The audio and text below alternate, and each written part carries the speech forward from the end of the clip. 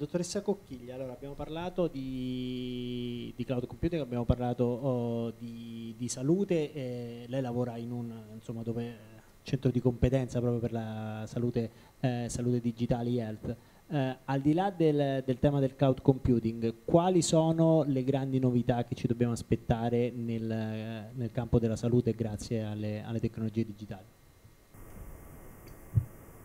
Sì, allora, mh, mm, per chi non lo conosce, Arsenal è il centro di ricerca della Regione Veneto per la sanità digitale. Su questo tema riprenderei un po' le parole iniziali in cui è stato esplicitato che effettivamente i due fattori abilitanti verso una trasformazione digitale sono da un lato l'infrastruttura, dall'altro mobile. Diciamo che tutta l'area di cui sono responsabile in Arsenal che si occupa di ricerca e innovazione va diciamo così, a prendere queste due facce della medaglia. Da un lato quindi quello di cercare di creare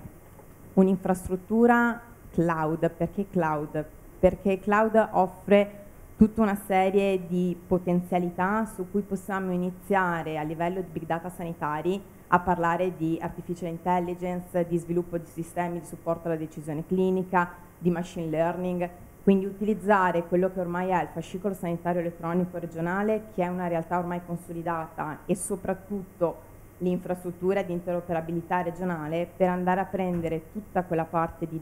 di dati, quindi di big data sanitari, su cui fare finalmente progetti innovativi, progetti di supporto alla salute sia lato operatori sia lato cittadini. Dall'altra parte invece la parte mobile perché è chiaro che dobbiamo ormai spingerci verso i cittadini. Ormai è un anno e mezzo che stiamo cavalcando un'iniziativa che si chiama Sanità Chilometro Zero,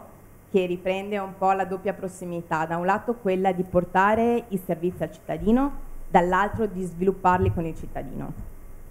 Rispetto a queste due, diciamo così, accezioni, sulla prima, secondo me, bisogna lavorare soprattutto nella parte di creazione di servizi col cittadino, per andare a fare un improvement di quelle che sono anche le sue skills digitali. Abbiamo una serie di progetti nelle scuole, ovviamente, per andare a cercare di spiegare a chi è già nativo digitale quelli che sono effettivamente i potenziali servizi a cui può accedere. Dall'altro lato però non bisogna abbandonare tutta che quella che è quella fascia di popolazione che non è nativa digitale, perché la scelta che è stata fatta in Veneto è quella di non essere mobile first ma mobile only. Ad oggi ci sono alcuni servizi tipo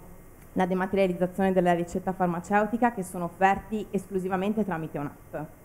È sicuramente una scelta disruptive rispetto a quelli che sono i servizi della pubblica amministrazione in genere, ce ne rendiamo benissimo conto, però è anche l'unico modo secondo noi per andare ad agire sulla popolazione a 360 gradi per aumentare gli skills. I dati ci rispondono in maniera positiva, abbiamo tutta una serie di utilizzatori dell'app che hanno un'età che va dai 70 agli 82 anni, per cui è chiaro che la popolazione ormai è pronta a fare questo cambiamento, è chiaro che bisogna seguirla e aiutarla. Dall'altro punto di vista invece bisogna cercare secondo noi,